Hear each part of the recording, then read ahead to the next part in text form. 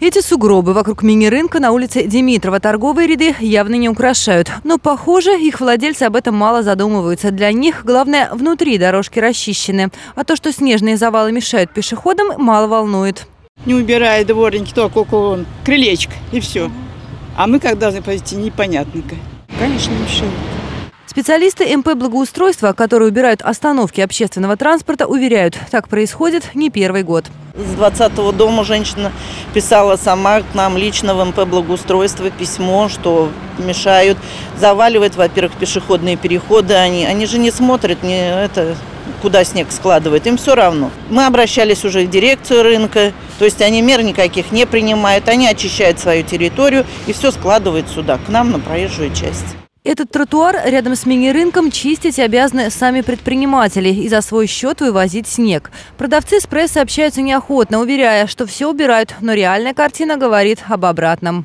Вы что хотите сказать, что ровно через пять минут вот здесь не должно быть снега? Вы как себе это представляете? Если мало снега, раскидывают вот так вот чуть-чуть, здесь машины замешивают его. Если много снега, у дворников есть телега такая, и они вывозят туда, где у нас мусор. В городском департаменте благоустройства стремятся наладить взаимодействие между муниципальными службами, управляющими компаниями и объектами потреб рынка, чтобы уборка была скоординирована и все работали по общей схеме. Но пока не все готовы на это откликнуться. В основном это вот все складируется в газонах, прилотковой части, там, на тротуарах. И, скажем так, потом нам с газонов все это вывозить э, тоже проблематично.